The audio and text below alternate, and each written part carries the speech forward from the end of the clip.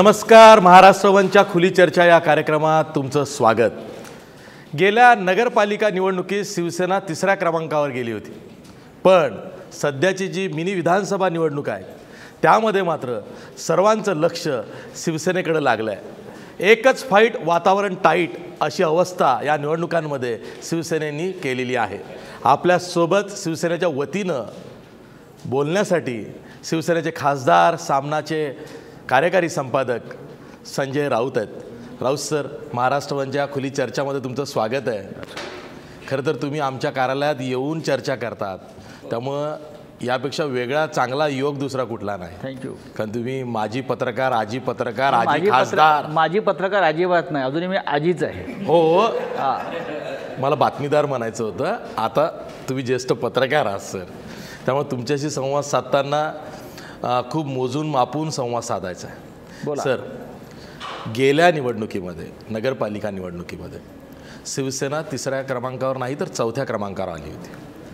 आणि त्यामध्ये जेव्हा निवडणुकांच्या निकालाचं ॲनालिसिस केलं गेलं भाजपकडून त्यात असं लक्षात आलं की शिवसेनेला चौथ्या क्रमांकावर सुद्धा वोट शेअर चांगला मिळालेला आहे.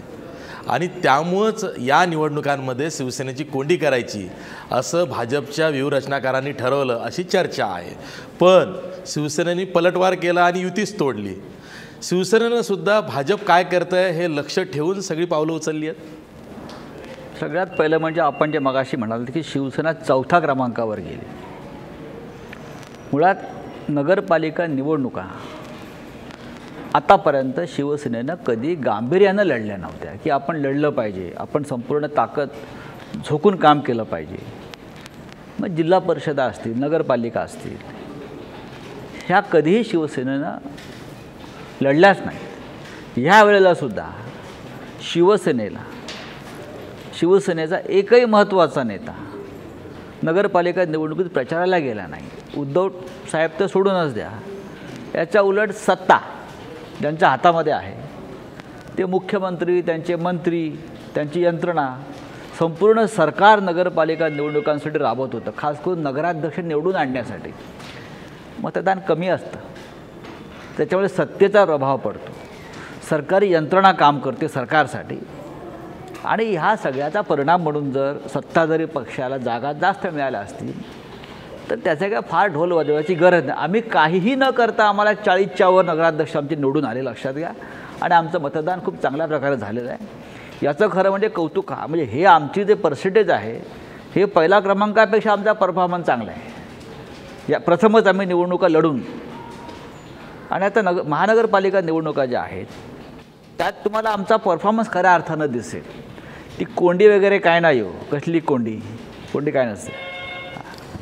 मग हा ज्या महापालिका निवडणुका दहा लागल्या आणि जिल्हा परिषदा पंचवीस आहेत ह्या ज्या निवडणुका लागल्या ह्यामध्ये शिवसेनेनं एकला चालो रे असा मार्ग का निवडला?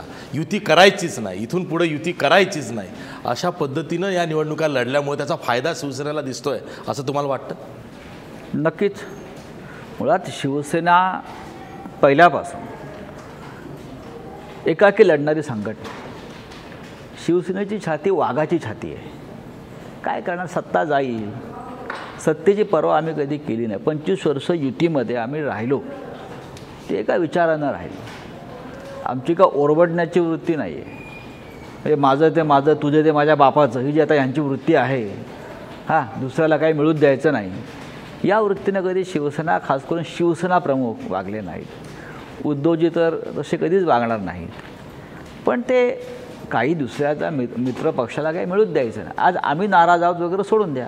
त्यांचे जे लहान सहान मित्र आहेत ना राजू शेट्टीचं बघा काय रोज स्टेटमेंट आहेत. महादेव जानकर काय लहान पक्ष आहे.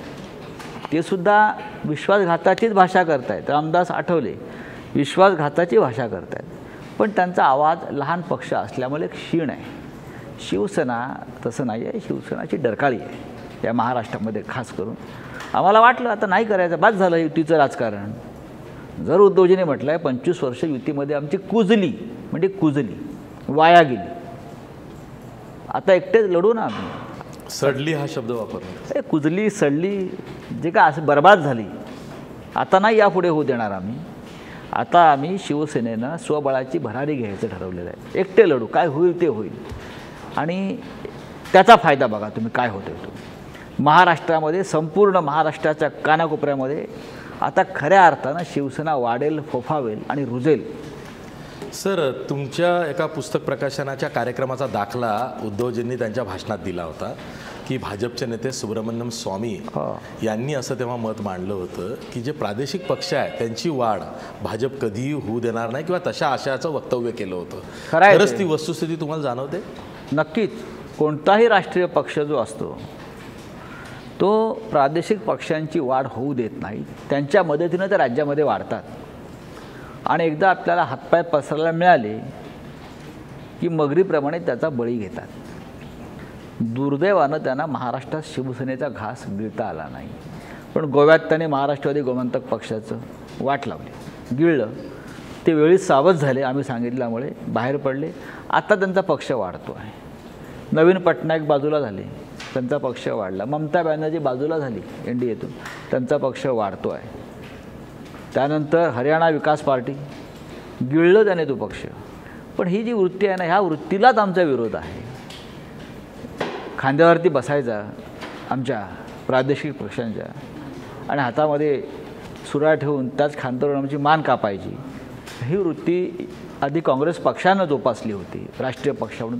आज काँग्रेस पक्षाचं मातेरं झालं आहे या वृत्तीमुळे. त्यांना कोणी मित्र नाही आहे आणि भारतीय जनता पक्षसुद्धा काँग्रेसच्या मार्गानेच चालला आहे त्या पद्धतीनं. आज त्यांना मजा वाटते. आज त्या गुदगुल्या होत आहेत. पण त्या अस्वलाच्या गुदगुल्या आहेत. लक्षात घ्या. हां. सर सव्वीस तारखेच्या भाषणामध्ये शिवसेना पक्षप्रमुख उद्धव ठाकरे असं म्हणाले. जसं तुम्ही आता म्हणताय की पंचवीस वर्ष युतीची आमची सडली. हो. टीकाकार असं म्हणतायत की कुजण्याचा किंवा सडण्याचा वास इतका उशिरा का शिवसेनेला आला? येतो कधी कधी वास. सहन करतो आपण काही विचारानं. एका विचारानं ही ठरलेली जर युती होती काही गोष्टी संयमानं पाळायच्या असतात. राष्ट्रीय विचार हिंदुत्वाचा विचार महाराष्ट्राचा विचार. पंचवीस वर्ष आम्ही टिकवली त्यावेळेला जेव्हा युती झाली तेव्हा सुरुवातीची वीस एक वर्ष तर अडवाणी अटलजी शिवसेना प्रमुख माननीय बाळासाहेब ठाकरे असे महान टोलजंग नेते या युतीमध्ये होते सांभाळणारे सगळे. त्यांचे काय सत्तेसाठी त्यांचं खेचाखेची नव्हती ना. गेल्या दोन अडीच तीन वर्षामध्ये हा खेचाखेचीचा प्रकार फार वाढलेला आहे. आणि म्हणून हे असह्य झालं आणि ओझं गाढवाचं फेकून दिलं मेलेलं आहे आम्ही. तो मेलेला उंदीर नव्हता मेलेलं गाढव होतं ते ते आमच्या खांद्यावर होतं. फेकून दिलं.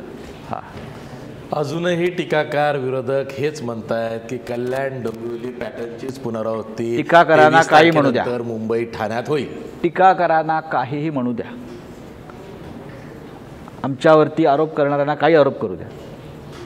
मुंबई महानगरपालिकेमध्ये शिवसेना पूर्ण बहुमतानं सत्तेवर येईल अशा प्रकारचं वातावरण आज मुंबई असेल ठाणा असेल अनेक मोठ्या शहरात नाशिक असेल अनेक मोठ्या शहरामध्ये आहे. एक हाती सत्ता द्यायची हे लोकांनी ठरवलेलं आहे. टीकाकारांना का? आम्ही तेवीस तारखेला उत्तर देऊ ना? आता कशाला उत्तर देऊ? अठरा तारखेच्या सभेकडे सर्वांचं लक्ष हो. लागलं आहे. एकोणीस तारखेला शिवजयंती आहे. या मुहूर्तावरती राज्यात काही खळबळ होईल का? नाही खळबळ तेवीस तारखेलाच होणार. अठराला तुम्ही मुहूर्त शोधू नका. जी काय खळबळ व्हायची आहे ती तेवीस तारखेलाच खळबळ गडबड धडपड पडापड जी काय आहे ती तेवीस तारखेला होणार. अजित पवारांनी असं म्हटलं होतं की आताच्या ज्या मध्यावधी निवडणुकांची चर्चा चालली आहे याच्यात सगळ्यात जास्त महत्त्वाची भूमिका एकमेव पक्ष आहे तो शिवसेना. तर आता शरद पवार म्हणतात मध्यावधी निवडणुकीसाठी राष्ट्रवादी तयार काँग्रेस म्हणतं आम्हीही तयार. तर शिवसेनेने ही तयारी सुरू केली आहे का? ज्या दिवशी दोन हजार चौदा साली विधानसभेचे निकाल लागले जे काद लागले ते त्यानंतरच आम्ही पुढल्या निवडणुकीची तयारी सुरू केली आहे. ती काय आता सुरू करायला पाहिजे असं नाही. आम्ही राजकीय पक्ष आहोत. महाराष्ट्रात पन्नास वर्ष आम्ही राजकारण करतो आहे आम्हाला पुढे काय होणार भविष्यात काय घडतं आहे याची कल्पना दूरदृष्टी आमच्या शिवसेना पक्षप्रमुखांना असल्यामुळे त्यांनी आम्हाला जे सांगितलं आहे त्यानुसार ज्या दिवशी निकाल लागले महाराष्ट्रात नवीन सरकार स्थापन झालं त्या सरकारविषयी आम्ही फार खुश आहोत. अशातला भाग नसल्यामुळे आम्ही कामाला लागलो. ही तात्पुरती व्यवस्था आहे ही टेंपररी अरेंजमेंट आहे. आम्हाला कायमस्वरूपी सरकार बनवण्यासाठी आम्हाला आमच्या आमचा पुढाकार घेऊन राज्य आणावं लागेल आमचं. आणि ती तयारी आम्ही सुरू केली आहे. सर शिवसेनेनं भाजपबरोबरची युती तोडली इथून पुढं कोणतीही निवडणूक असू देत आम्ही स्वबळावर लढू असं उद्धव ठाकरेंनी जाहीर केलं.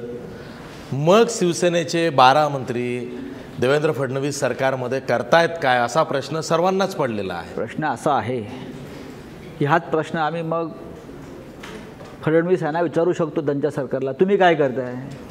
तुम्हाला आम्ही नकोसे झालो मग तुम्ही सोडून द्या सत्ता. तुम्ही जा मध्यवर्ती निवडणुकांना सामोरं. तुम्हाला आम्ही गुंड वाटतो आहे किंवा आम्ही अजून काही वाटतोय. तुम्ही जी टीका करताय ना आमच्यावरती मग तुम्हाला आम्ही नको. मग तुम्ही आमच्याबरोबर का राहताय? तुम्ही तर तुम्ही सोडा ना आमची का वाढ बघताय? तुम्ही सोडून द्या. तुम्ही नीतिमान आहात. साधन सुचितेच्या गप्पा मारताय. तुमच्यावरती राष्ट्रीय स्वयंसेवक संघाचं चारित्र्याचं कृपाछत्र आहे. हे सगळं बोललं. ते मग तुम्ही आम्हाला का सांभाळताय? तुम्ही का सत्तेत राहिलाय? सोडा तुम्ही. मग तो त्यागाची भावना तुम्ही दाखवा की नैतिकतेच्या मुद्द्यावरती आम्ही सत्तेचा त्याग करतो. तुम्ही का सोडत नाही? आम्हाला का विचारताय? नाही झालंय काय? शिवसेना युती तोडते आहे शिवसेना भाजपला दोष देते आहे आरोप करते आहे पण सत्ता सोडत नाही आहे की भाजपबरोबर युती तोडली ना लोक म्हणत होती युती तोडणार नाही. एक वेळ यावी लागते. ती वेळ ठरलेली आहे. ती वेळ ठरलेली आहे. तो बिंदू आम्हाला माहिती आहे. थांबा. भाजप शिवसेनेला बाहेर का काढत नाही? ते त्यांना विचारा. मी तोच माझा प्रश्न आहे ना. तुम्ही म्हणताय त्यांनी सत्ता सोडा. ते तुम्ही असं नाही म्हणालात की भाजपने आम्हाला बाहेर काढा नाही त्यांनी सत्ता सोडावी. मग महाराष्ट्रात काय होते त्यांना कळेल ना. त्यांना जर एवढं नैतिकतेचा टेंबा ते मिरवत आहेत सगळे लोक पहिल्यापासून पण ज्या प्रकारे आज जसं सैन्य भरती व्हावी पोलीस भरती व्हावी एखादा सरकारी आस्थापनेत नोकर भरती व्हावी तसे ते गुंड भरती करतायत जिल्ह्या जिल्ह्यामध्ये. कशाकरता करतायत? नैतिकता आहे ना. चारित्र्य आहे ना राजकारणातलं. मग तुम्ही दाखवा कृतीनं दाखवा. सोडा. सर मी मगाशी ओळख करून देताना असं म्हणालो होतो की तुम्ही आधी बातमीदार होतात पत्रकार आहात आता खासदार आहात. ते म्हणण्यामागे माझ्या काही वेगळ्या गोष्टी मला सांगायच्या होत्या ज्या लोकांना माहिती नाही. एक तर शरद पवारांना जे काही मोजके पत्रकार जवळून ओळखतात त्यात तुमचा क्रमांक खूप वरचा आहे. आणि मला हा शरद पवारांच्या अनुषंगानं प्रश्न विचारायचा आहे. मध्यविधा मध्यावधी निवडणुका होतील हे सर्वात आधी जर का वक्तव्य कोणी केलं असेल तर ते शरद पवारांनी केलं होतं. आताही मध्यावधी निवडणुकांची पुढी ही राष्ट्रवादीकडूनच सुटलेली आहे. त्यामुळं जेव्हा शरद पवारच सांगतायत की राष्ट्रवादी काँग्रेस मध्यावधी निवडणुकांसाठी तयार आहे मध्यावधी निवडणुका होऊ शकतात भाजपला सोडून इतर पक्ष एकत्र येऊ शकत नाही त्यामुळं मध्यावधी निवडणुका हाच पर्याय आहे. मग शिवसेना काय विचार करते? जर का राष्ट्रवादी गुडघ्याला बाशिंग बांधून तयार असेल. सन्माननीय शरद पवार जे आहेत नरेंद्र मोदींनी त्यांना आपलं गुरुस्थानी मानलेलं आहे. ते का लपून राहिलं आहे का? बारामतीत येऊन त्यांनी सांगितलं मी त्यांचं मार्गदर्शन घेतो. आता ज्यांचे गुरु शरद पवार आहेत ते गुरु शिष्य एकमेकांशी बोलून जर काय ठरवणार असतील काही गुप्त गोष्टी त्यांच्या चालल्या असतील किंवा गुप्त कारवाया चालल्या असतील तर त्याच्यापासून शिवसेना लांब आहे. पण महाराष्ट्रात या क्षणी काय करायचं? हे शरद पवार नाही ठरवणार. हे अशोक चव्हाण नाही ठरवणार. हे शिवसेना पक्षप्रमुख उद्धव ठाकरे ठरवतील. बाकी कोणी हवेत पतंग उडवू द्या हवेत तलवारबाजी करू द्या ते तेवढ्यापुरतं आहे. पण शेवटचा घाव जो आहे ना जो वार आहे ना तो उद्धव ठाकरेच घालणार. यांनी कितीही हकारे मारले तर शिकार काय त्यांच्या हाती लागणार नाही. शिकार आम्हीच करणार. तुम्ही म्हणताय शिवसेना स्वीकार करणार पण आता सध्या कागदावरची परिस्थिती अशी आहे की शिवसेनेनं या सरकारचा पाठिंबा काढला. बघा आपले मंत्री कागदावरच्या सरकारमधून बाहेर काढले. परिस्थितीवर जाऊ नका. कागद आणि फायली एका रात्रीत गहाळ होतात राजकारणामध्ये. इथे अदृश्य सह्या करणारे पण खूप लोक असतात. अदृश्यशाही पण असते. मोठ्या मोठ्या फायली चोरीला जातात मंत्रालयातून. मंत्रालयाला एका रात्रीत आग लागते. तेव्हा राजकारणात काय होईल याची कोणी भाकितं करू नयेत हां. पण अल्पमतातलं सरकार राज्यपाल किंवा भाजप चालवू शकतं सर? लंगडं सरकार पण चालवू शकतात पांगळं पण चालवू शकतात. पण महाराष्ट्र हा लुळे लंगडे पांगळ्या सरकारसाठी जन्माला आलेला नाही आहे जेव्हा जेव्हा तो चालवण्याचा अशा प्रकारचं सरकार प्रयत्न झाला तेव्हा हे चालवणारे लोक कायमचे निस्तनाबूत झालेले आहेत. सर या अनुषंगानं एक माझ्या वतीनं शेवटचा प्रश्न विचारतो. कारण आपण बऱ्याच प्रश्नांमध्ये तुमचं उत्तर आलं आहे मुंबई महापालिका एकीकडं आणि इतर सर्व महापालिका आणि जिल्हा परिषदांच्या निवडणुका एकीकडं असा काहीसा फरक शिवसेनेनं करून घेतला आहे नक्कीच. सगळं काही मुंबई महापालिकेसाठीच? मुंबई ही महाराष्ट्राची राजधानी आहे. नुसती राजधानी नाही आहे या देशाची आर्थिक राजधानी आहे. या जगातलं एक महत्त्वाचं शहर आहे. New York Tokyo Beijing London ही जी महत्त्वाची शहरं आहेत ना पॅरिस लंड आणि मुंबई या महत्त्वाच्या शहरावर जगातल्या सत्ता कोणाची आहे हे जगात पाहिलं जातं. आणि ही मुंबई म्हणूनच महाराष्ट्राला मिळू नये. यासाठी पन्नास वर्षापूर्वी मोठं कारस्थान झालं आहे लढा झाला आहे आपला साठ वर्षापूर्वी. लोक मारले गेले. आणि शिवसेना या मुंबईची कवचकुंडल आहे. आणि ती राहायला पाहिजे ही लोकभावना आहे. मुंबईवर सत्ता जर शिवसेनेची नसेल तर महाराष्ट्राचं वैभव नष्ट होईल. महाराष्ट्राची अस्मिता नष्ट होईल. बाकी ठीक आहे बाकी ठिकाणी काय करायचं आम्ही पाहू. आमचं लक्ष आहे. पण मुंबई जिंकली पाहिजे. मुंबईवरती भगवा फडकणं म्हणजे मुंबईवरती महाराष्ट्रावरती महाराष्ट्राची अस्मिता राहण्यासारखं आहे. म्हणून आम्ही लढतो याच मुद्द्याला एक पुढे घेऊन जातो आणि तो म्हणजे विरोधक तुमच्यावर सातत्याने आरोप करतात की शिवसेनेवरती की नोटीस पिरियडवर हे सरकार आहे असं सेना नेहमी म्हणते. पण नोटीस पिरियड एक टाइम बाउंड असतो. नाही, नाही, नेहमी म्हणत नाही सेना. हे गेल्या चार पाच दिवसापासून हा हे जो हा वाक प्रचार जो आहे हा प्रचारात आला नोटीस पिरियड आहे. पण हा नोटीस पिरियड संपणार त्या दिवशी शिवसेना पक्षप्रमुखांनी गोरेगावला त्यांच्या भाषणामध्ये युती तोडल्याची घोषणा केली. ते भाषण जर तुम्ही ऐकलं तर त्या दिवसापासून नोटीस पिरियड सुरू झाला हे मायनाला हरकत नाही. तुम्ही म्हणाल तो कधी संपणार? मी म्हणतो तेवीस तारखेचे निकाल लागू द्या. पूर्ण होऊ द्या. शेवटी महाराष्ट्राला आम्ही अस्थिर करणार नाही. मुळात या सरकारमध्ये आम्ही सामील झालो ती काय फार आनंदानं खुशीनं दिवाळी साजरी करत की आम्ही सरकारमध्ये सामील झालो नाही? ठीक आहे आम्ही आधी सामीलच होत नव्हतो पण परत आत्ताच निकाल लागले आहेत. परत काँग्रेस एन सी पीच्या हातात हे राज्य जाऊ नये त्यांच्या विरुद्ध कौल आहे. महाराष्ट्र आर्थिकदृष्ट्या दुबळा होऊ नये तिथे आर्थिक अराजक निर्माण होऊ नये.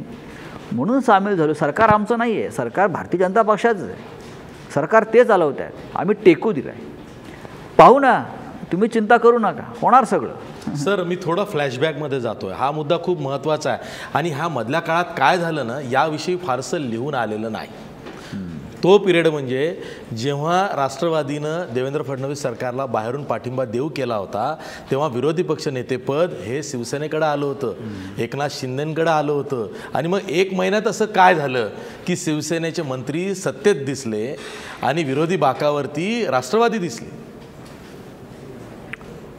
राष्ट्रवादी काँग्रेस पक्षानं चोवीस तासात पाठिंबा जाहीर केला. ही त्यांची राजकीय दिवाळखोरी होती अकलीची. आणि जर तो घेतला असता पाठिंबा भारतीय जनता पक्षानं तर त्यांचं डोकं ठिकाणावर आहे का असा प्रश्न लोकांनी विचारला असता. कारण ज्या राष्ट्रवादीच्या लोकांना तुरुंगात पाठवण्याची भाषा करून तुम्ही मतं मिळवली तुम्ही त्यांचा पाठिंबा घेणार होतात का? हे सगळं ठरलेलं ढोंग होतं. हे स्क्रिप्ट होतं पडद्यामागे तयार केलेलं. शिवसेनेवरती ते जे आहेत ना गुरु शिष्यांचं जे नातं आहे त्याचं त्यांनी लिहिलेलं स्क्रिप्ट होतं. तर गरज काय चोवीस तासामध्ये तुम्हाला पाठिंबा द्यायची? आम्ही बघितलं असतं महाराष्ट्राचं काय करायचं ते. तुमची संख्या होती का तेवढी? पण तरीसुद्धा मग केंद्रातून काही लोकांनी विनंती केली की आपण नंतर चर्चा करू. तुम्ही सरकारला आधी पाठिंबा द्या. शेवटी महाराष्ट्राचा विचार करता उद्धवजीने एक निर्णय घेतला. अनेक महत्त्वाच्या लोकांनी दिल्लीतून संपर्क केला. महाराष्ट्रातून संपर्क केला. चर्चाही झालेली आहे याच्यामध्ये. केला ना? ठीक आहे. त्यात का आम्ही का गुन्हा केला का? नाही. त्यामुळे झालं काय? पंच्याण्णव ते नव्याण्णव राज्यात युतीचं सरकार होतं शिवसेनेचे मुख्यमंत्री होते. होते ना. आज दोन हजार चौदापासून तर आतापर्यंत भाजपचं सरकार आहे शिवसेनेचे मंत्री भाजप सरकारमध्ये सामील आहेत असं भाजप म्हणते ब- ब- मी मगाशी काय सांगितलं? सरकार आमचं नाहीच आहे ना. मी वेगळं सांगितलं का? हो, पण तुमचा विरोधी पक्ष नेते असताना तोच मग कॅबिनेट मंत्री झाला. आमचं शिवसेनेने नमतं घेतलं असं चित्र पुढे गेलं. ठीक आहे बरोबर आहे तुमचं म्हणणं. नमतं घेतलं कारण शेवटी लोकशाहीमध्ये आकड्याला महत्त्व आहे. आमचा आकडा नाही लागला त्यांचा आकडा लागला. आम्ही त्यांच्या आकड्याबरोबर आहोत. उद्या आमचा आकडा लागणार आहे. आकडा रोज बदलतो ना. या महाराष्ट्रात आणि देशामध्ये अजूनही मटकाने आकडा चालतो. तुम्ही म्हणताय तुमचा आकडा लागेल. तेवीस फेब्रुवारीच्या निकालामध्ये जर का लागणार आकडा.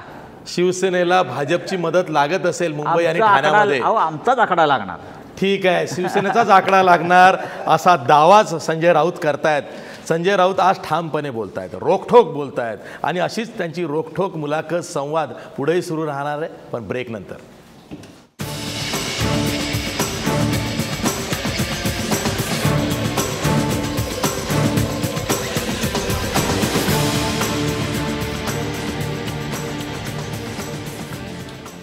ब्रेकनंतर पुन्हा तुमचं स्वागत. आपल्यासोबत खासदार संजय राऊत आहेत. सर अशी एक चर्चा आहे की अठरा तारखेची जी शिवसेनेची मोठी सभा आहे आणि दुसऱ्या दिवशी एकोणीस तारखेला शिवजयंती आहे त्यामुळं त्या सभेमध्ये उद्धव ठाकरे असं काही वक्तव्य करतील की त्याचा परिणाम या सरकारवर होईल आणि मतपरिवर्तन मोठ्या प्रमाणात शिवसेनेच्या बाजूनं मुंबईमध्ये होईल. जेणेकरून शिवसेनेच्या मुंबईतल्या जागा खूप वाढतील. असं काही लॉजिक मांडलं जात आहे अशा प्रकारच्या राजकारणाची शिवसेनेला गरज नाही आणि सवय नाही. अशा प्रकारचं वक्तव्य म्हणजे काय? ज्या दिवशी शिवसेना पक्षप्रमुखांनी युती तोडल्याची घोषणा केली तेव्हाच वातावरण बदललं. नवीन घोषणा का नवीन वक्तव्याची गरजच नाही. लोकांच्या मनामध्ये जे होतं तो उद्रेकच त्यांच्या मुखातून बाहेर पडल्यावरती आता नवीन काही करण्याची गरज नाही. वातावरण जे तुम्ही मगाशी म्हटलं एक फाईट वातावरण टाईट ते टाईट झालेलं आहे वातावरण आता. ही वज्रमूठ आहे ना ती तेव्हाच निर्माण झाली ज्या दिवशी युती तोडली. नवीन काही करण्याची गरज नाही.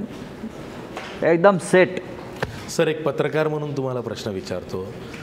आधी अशा निवडणुकांमध्ये एखादे मुख्यमंत्री आपण माजी मुख्यमंत्री अनेक बघितले जे जेव्हा सभा करायचे तेव्हा त्यांच्या सरकारवर किंवा त्यांच्यावर व्यक्तिगत जे आरोप विरोधक करायचे त्याला ते उत्तर द्यायचे. पण आता सध्याचे मुख्यमंत्री स्वतःच सभांमधून आरोप करतायत. त्यामुळे ते दुसऱ्यांचे आरोप सहन करत नाही आहेत तेच दुसऱ्यांवरती आरोप करतायत. शेवटी राजकारणामध्ये अनुभव फार महत्त्वाचा असतो.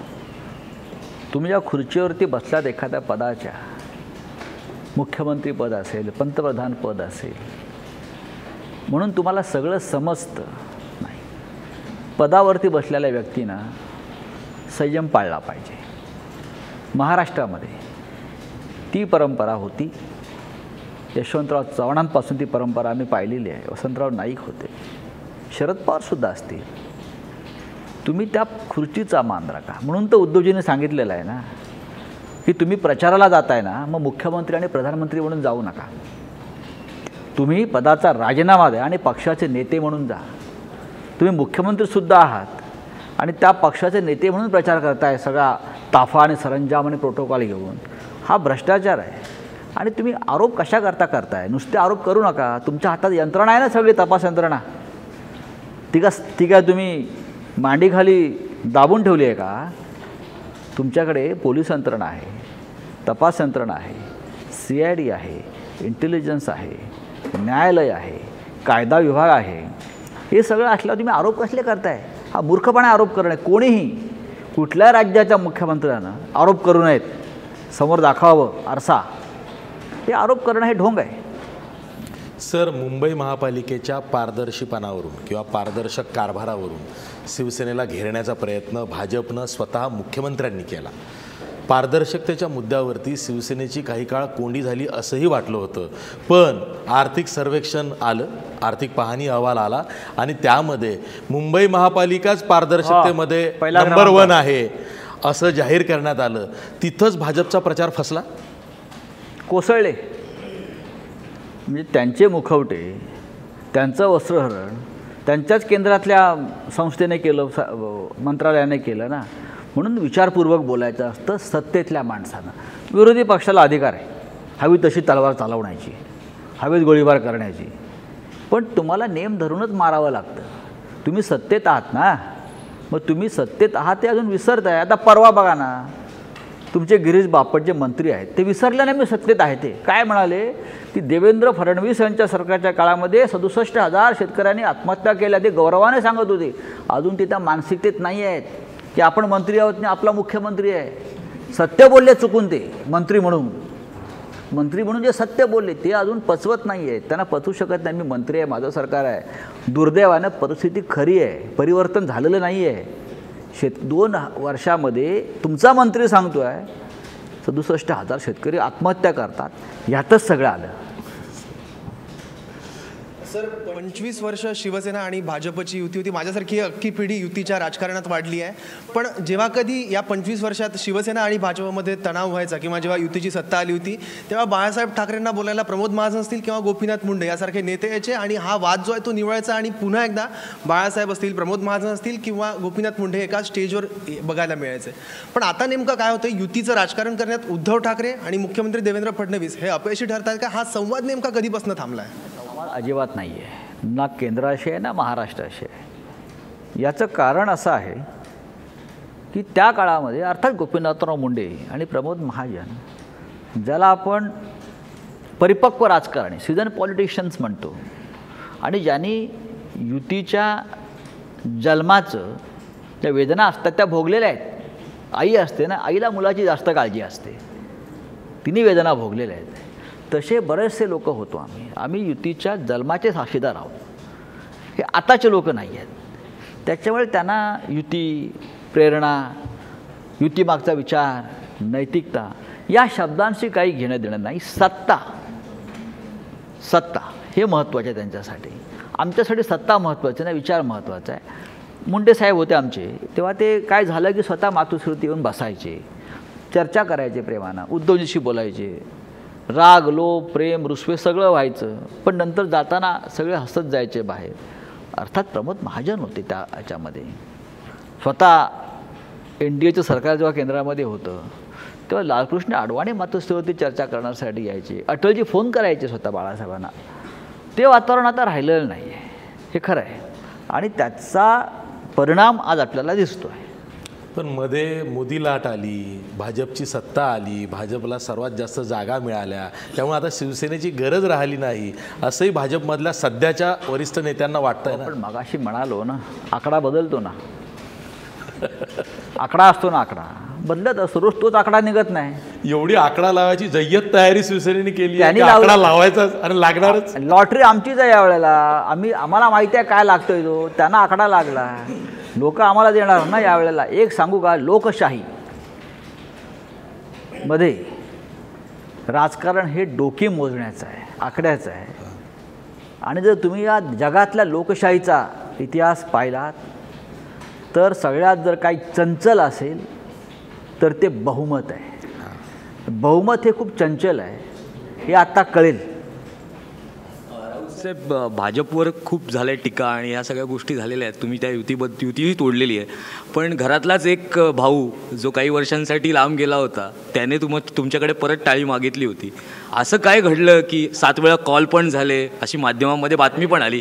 पण नेमकं काय घडलं? म्हणजे तुम्ही त्याच्यातले एक साक्षीदार आहात. तुम्ही ते त्याच्याबद्दल तुमचं नाव पण घेण्यात आलं होतं की तुम तुमच्याशी खूप बोलणं झालं होतं ह्या सगळ्या गोष्टीमध्ये. मग माशी नेमकी शिंकली कुठे?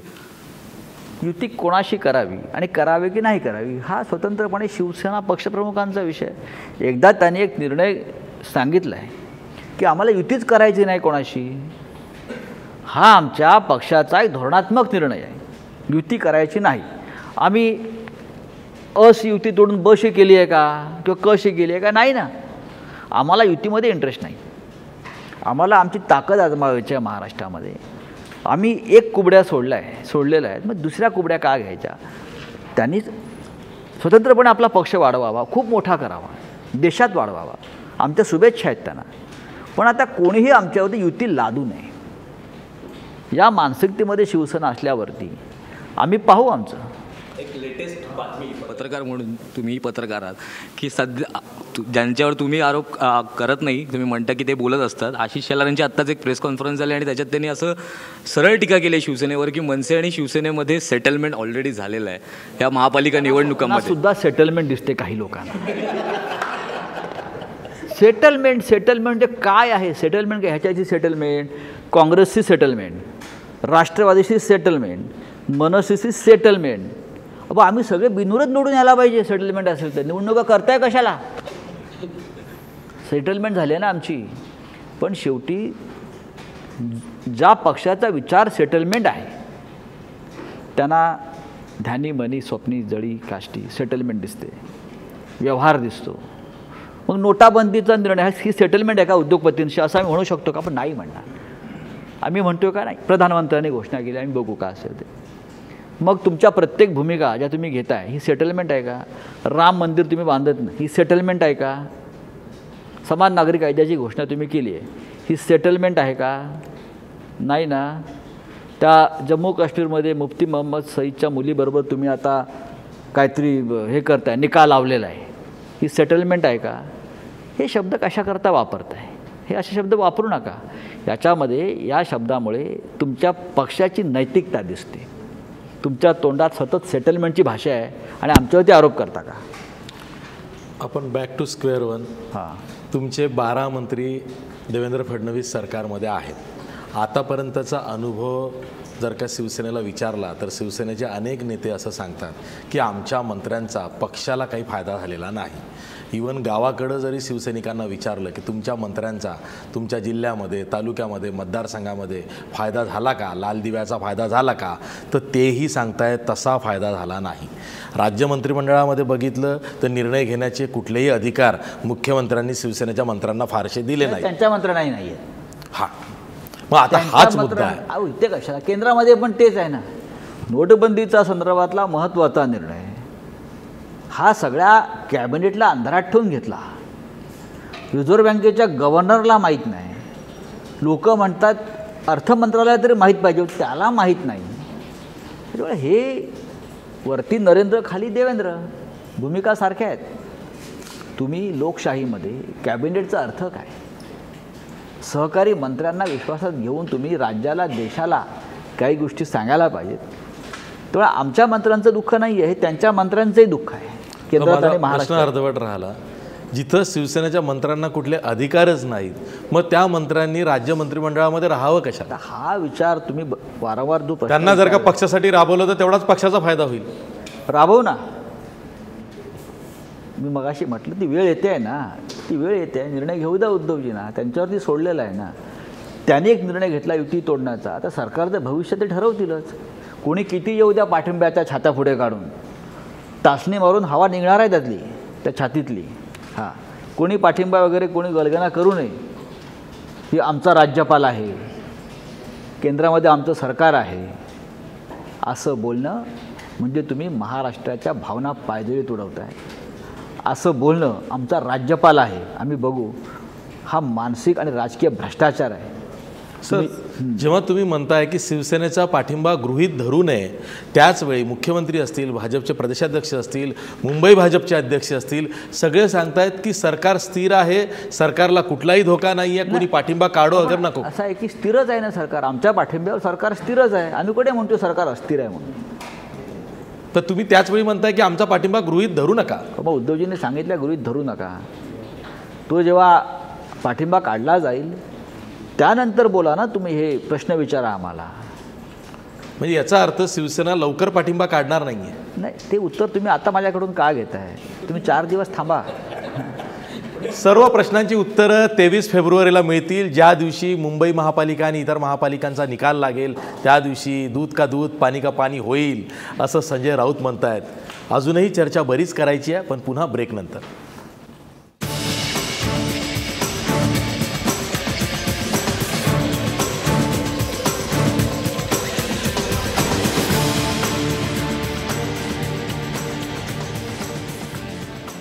ब्रेकनंतर पुन्हा तुमचं स्वागत. आपल्यासोबत संजय राऊत आहेत.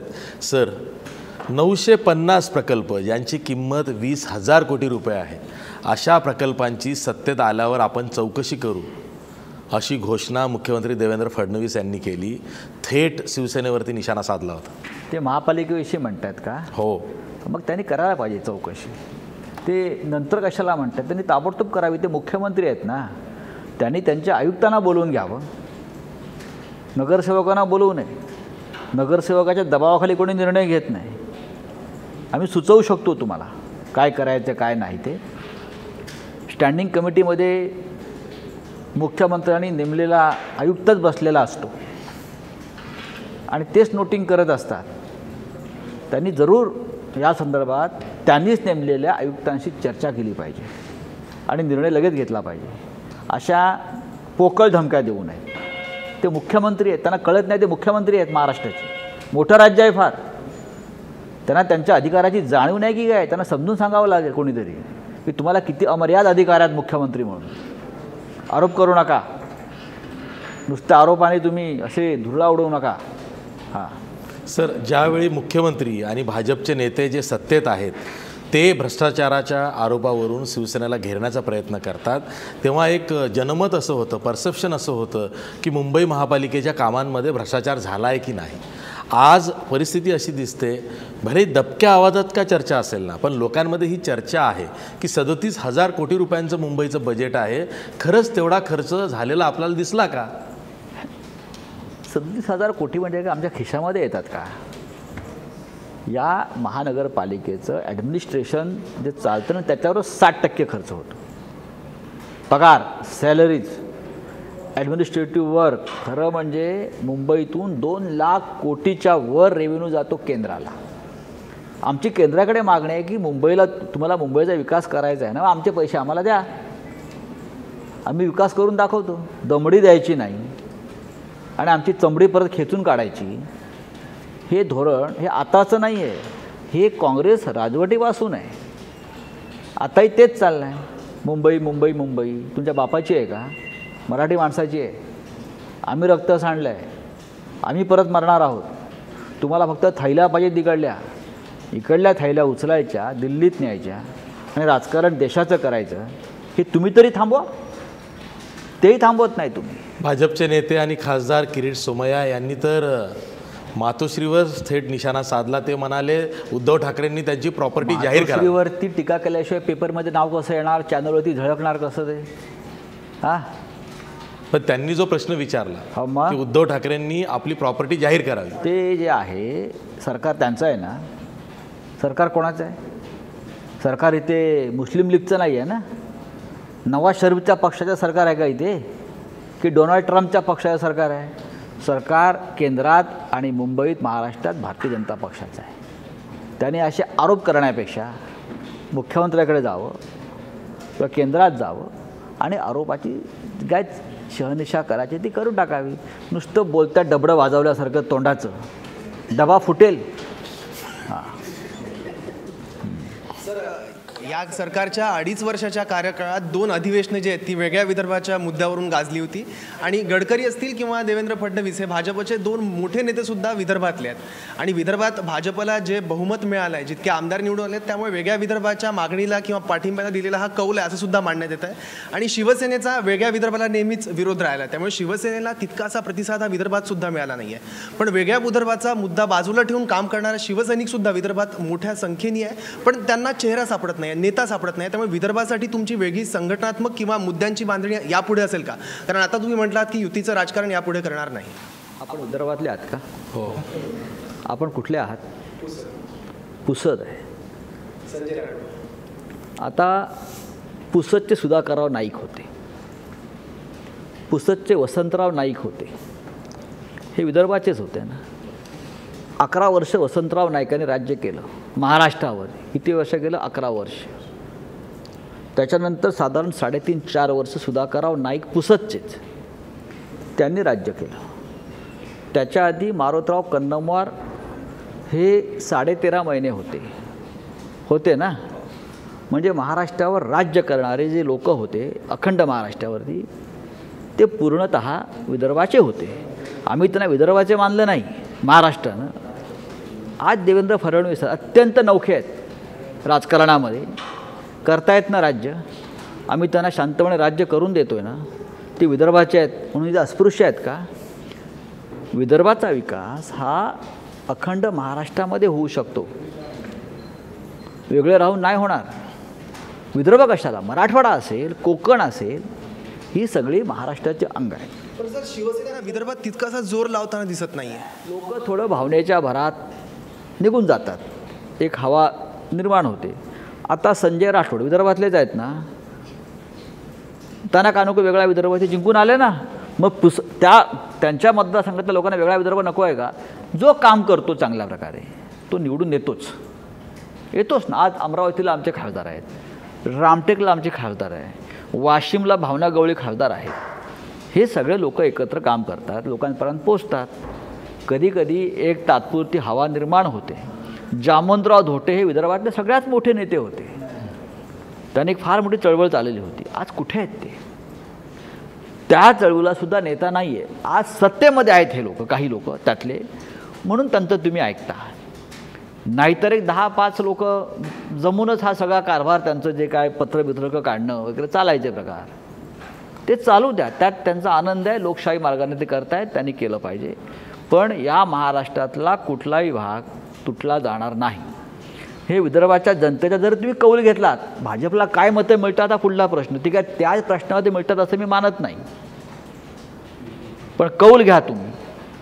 कौल इथे एकत्र राहण्यामध्येच लोकांना आनंद आहे. पण तो वेगळ्या तो मी असं म्हणतो की तुम्ही असं अशुभ का बोलताय? शुभ बोल रे नाऱ्या अशी एक मराठीमध्ये म्हण आहे. हा मग सतरापासून मागणी आहे ना. टिळकांच्या काळापासून मागणी आहे ती. हे जे आणे होते लोकनायक आणे होते बिरलाल बियाणी होते सगळ्यांनी आंदोलनं करून झालीत. पण आंदोलनाला लोकांचा पाठिंबा नाही.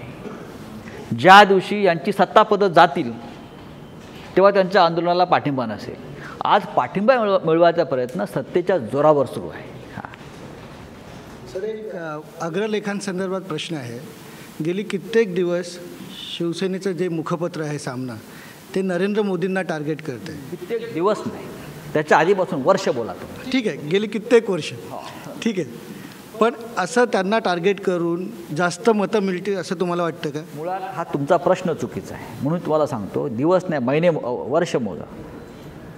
नरेंद्र मोदी या देशाचे पंतप्रधान आहेत. नरेंद्र मोदी या देशाचे पंतप्रधान व्हावेत या देशाचं नेतृत्व त्यांनी करावं म्हणून शिवसेनेने सुद्धा जीवाचं रान केलेलं आहे.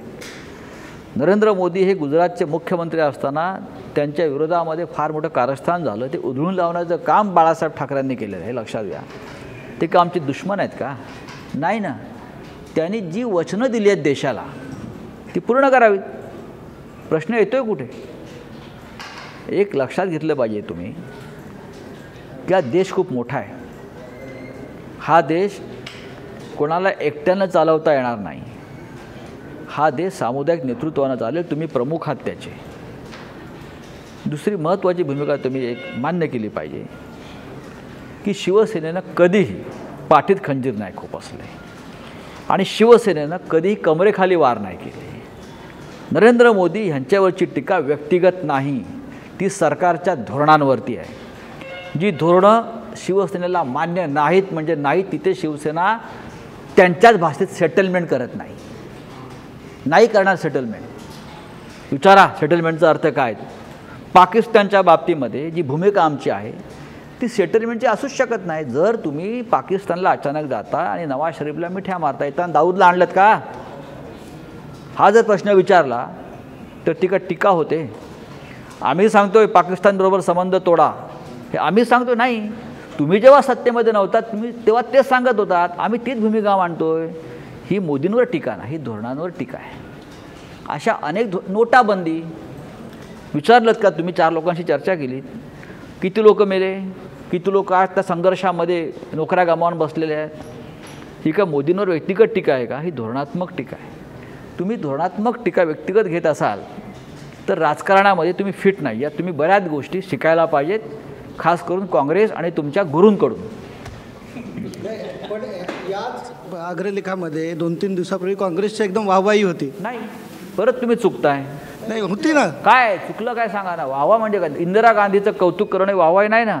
इंदिरा गांधी या देशाच्या सर्वोच्च नेत्या होत्या आणि त्यांच्या तोडीचं नेतृत्व या देशात निर्माण झालं नाही. आपण काय सांगितलं नरेंद्र मोदींनी त्या दिवशी भाषणामध्ये? माधव गोडबोलेच्या पुस्तकाचं. काहीतरी एक रेफरन्स देऊन की वांछू समितीने त्यावेळेला नोटाबंदीचा प्रस्ताव दिला होता.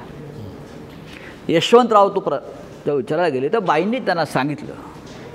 काय सांगितलं की यशवंतरावजी क्या हमको वापस चुनाव नाही लढना आहे क्या? बाई बोलल्या असतील. कोणी ऐकलं आहे पण तुम्ही बाईंवर टीका करताना एक विसरला त्याच बाईंनी पाकिस्तानचे दोन तुकडे सुद्धा केलेले आहेत. हे नंतर कोणाला जमलं नाही. तुम्ही करा दोन तुकडे आम्ही तुमचं कौतुक करू. करू. मनमोहन सिंग आणि नरसिंहराव हे भले काँग्रेसचे असतील पण या देशाला आर्थिक बळ देण्याचं काम आर्थिक अराजकातून बाहेर काढण्याचं काम या दोघांनीच केलेलं आहे हे सांगायला आम्ही कशाला पाहिजे? विरोधासाठी विरोध नाही आम्ही करत. जे बेस्ट आहे ते बेस्ट आहे. बाळासाहेबांनी जाहीर सभेत सांगितलेलं आहे. मला बॅरिस्टर अंतुलेसारखा मुख्यमंत्री पाहिजे. हे सांगायला सुद्धा दिलदर आणि धाडस लागतं. बॅरिस्टर अंतुले निर्णय घेण्याची क्षमता. त्यांच्या इतकी या महाराष्ट्रात कुठल्याही राजकीय नेत्यात नव्हती. बाळासाहेबांनी सांगितलं तेव्हा मला मुख्यमंत्री बॅरिस्टर अंतुलांसारखा पाहिजे. का? ते काँग्रेसच्यात आहेत म्हणून त्यांचे गुण काय? झाकून ठेवायचे का? व्यक्ती फार महत्त्वाची असते काम करणारी. पक्ष नाही. व्यक्तिमत्त्वाची पक्ष नाही. संजय राऊत यांची रोखठोक मतं आपण ऐकतो आहोत. ब्रेकनंतरही ती ऐकणार आहोत पण ब्रेकनंतर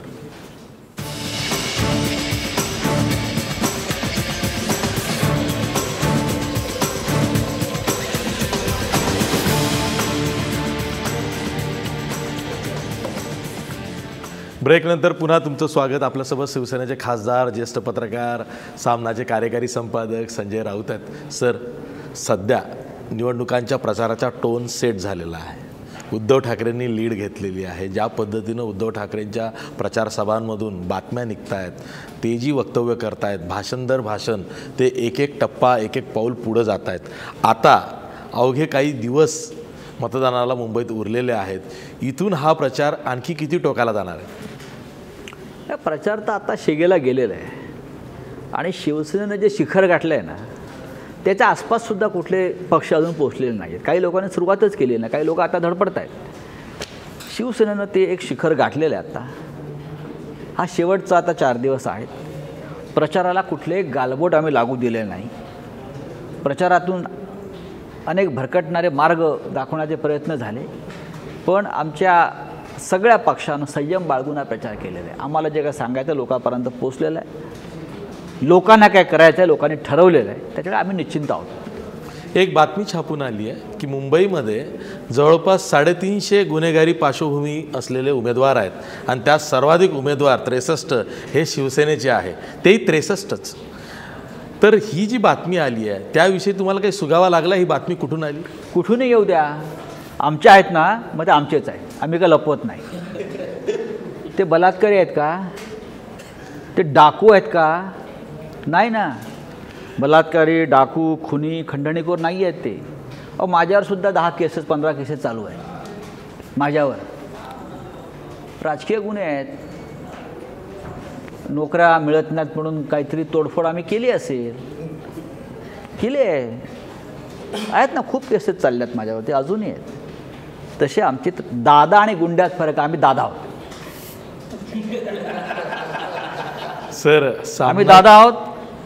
जसं काँग्रेसच्या काळामध्ये पूर्वी सखा पाटील वगैरे असताना हे बोरकर दादा वगैरे होते ना ते गुंड लफडेबाज लोक नव्हते.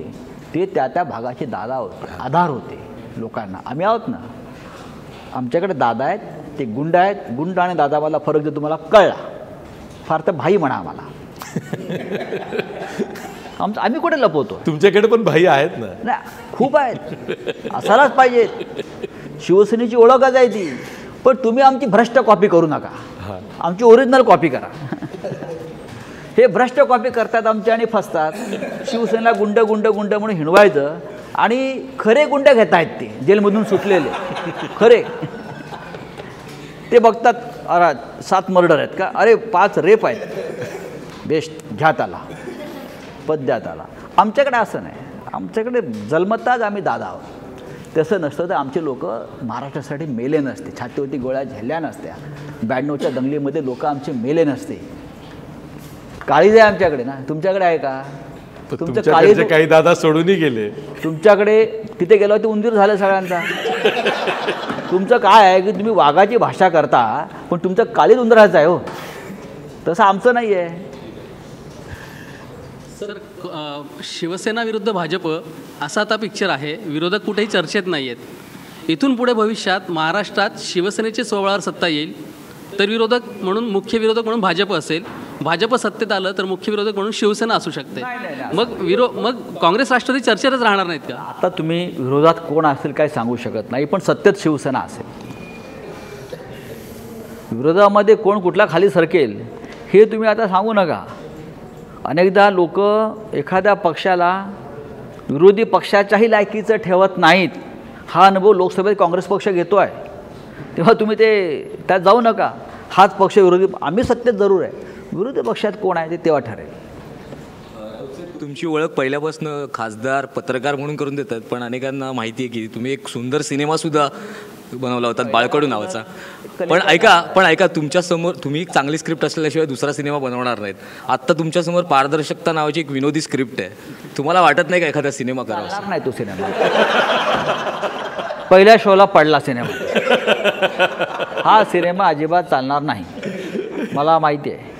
मी अत्यंत या क्षेत्रातला एक प्रोफेशनल माणूस आहे. मला माहिती आहे मी सगळे सिनेमे माझ्या लहानपणापासून बघतो. मला आवडतात पाहायला. मी सगळ्या सिरियल बघतो टी व्हीच्या लोक आपले बनवतात मराठी लोक पाहायला पाहिजे. विशेषतः मराठी पाहतो मी. मग कधी कधी थिएटरला मी एकटा असतो. बघतो. बघायचं. आणि दुसरीकडे कुठे? पंजाब नाही नाही. गोवा पंजाब उत्तर प्रदेश उत्तर उत्तराखंड मणिपूर सिक्कीम. हा इथे शिवसेना वाढण्यासाठी तुम्ही यू पीमध्येही होता. इथून शिवसेना. हा शिवसेना वाढतं असं तुम्हाला खरंच वाटतंय का? खरं शिवसेना वाढणं म्हणजे फक्त जागा जिंकणं नाही या क्षणी. पक्ष तिथे रुजवणं उभा करणं. आम्ही पुढल्या निवडणुकीकडे बघतो पाच वर्षाच्या. गोव्यामध्ये आम्ही काही नव्हतो. आता तुम्ही गोव्यात गेला तर तुम्हाला शिवसेना दिसेल. आम्ही जागा लढवल्या एका मोठ्या युतीमध्ये. उत्तर प्रदेशला तुम्ही जाऊन पहा. किमान एकशे दहा मतदारसंघामध्ये शिवसेना उभी आहे. आम्ही पुढला विचार करतो. त्यातल्या दोन एक जागा चार जागा जिंकल्या तरी पण पक्ष उभा राहतो. पंजाबमध्ये असेल काम चालू आहे ना. महाराष्ट्रामध्ये आम्ही अडकून पडलो. युती म्हणून जे मगाशी म्हटलं ना कोंडी कोंडी इथे झाली कोंडी आमची. की आम्ही जर बाहेर गेलो राज्यात तर भाजपचं नुकसान होईल ही आमची कोंडी होती. युती कुजली म्हणतो त्याला कुजली म्हणतो आम्ही. पक्ष वाढला नाही राज्याच्या बाहेर. सर अली तुम्ही निवडणुका लढवणार. लढवणारच. याच्यासाठीच तुम्ही त्या हार्दिक पटेलला आणलं होतं का? हार्दिक पटेल आले आम्ही त्यांच्याशी बोलतोय. हार्दिक पटेल कशाला? गुजरातमधले अनेक महत्त्वाचे नेते अनेक पक्षातले आमच्या संपर्कात आहेत. तुम्हाला दिसेल तेवीस तारखेनंतर धक्के सगळे दिसतील तुम्हाला. तारखेला चमत्कार होईल असं बाळासाहेब नेहमी म्हणायचे. चमत्कार होणार चमत्कार होणार. तेवीस तारखेला चमत्कार होणार असं. चमत्कार बघा ना कसा होतोय तो. देश नमस्कार करेल आम्हाला त्या दिवशी. सर अलीकडच्या काळामध्ये सामनाच्या हेडिंगची खूप चर्चा झाली. फैसला असेल किंवा स्पेशल छब्बीस असेल. तेवीस फेब्रुवारीनंतर चोवीस फेब्रुवारीचा जो सामना असेल तेव्हा हेडिंग काय असेल? आता सांगून तुम्ही कशाला आमचं स्टॉल आणि विक्रेत्यांना मारताय? होणार ना. सामना हा सामना आहे. तो सामनाच्या पद्धतीनं निघतो. म्हणून देशभरात त्याची चर्चा होते. तुम्हाला बातम्या मिळतात. प्रोडक्शन आहे आमचं बातम्या देण्याचं या देशाला. हा अगदी बरोबर. तुम्ही आम्हाला सगळ्यांनी रॉयल्टी दिली पाहिजे. आमच्या अग्रलेखाला रॉयल्टी दिली पाहिजे. संजय राऊत यांचं महत्त्व शिवसेनेमध्ये खूप मोठं आहे. ते शिवसेनेचे केवळ खासदार नाहीत तर ते पत्रकार आहेत सामनाचे कार्यकारी संपादक आहेत आणि त्याहीपेक्षा ते राजकीय विश्लेषकसुद्धा आहेत. त्यामुळे त्यांच्याकडचे इनपुट्स पक्षालासुद्धा खूप कामात येतात. कदाचित काहींना असंही वाटतं की मातोश्रीच्या सर्वात जवळचा पत्रकार संजय राऊत आहेत. हे होते संजय राऊत. खुली चर्चामध्ये ते आलेत. रोकटोक मतं त्यांनी मांडली. पुन्हा भेटूया नव्या पाहुण्यांसह. पाहत रहा महाराष्ट्रवर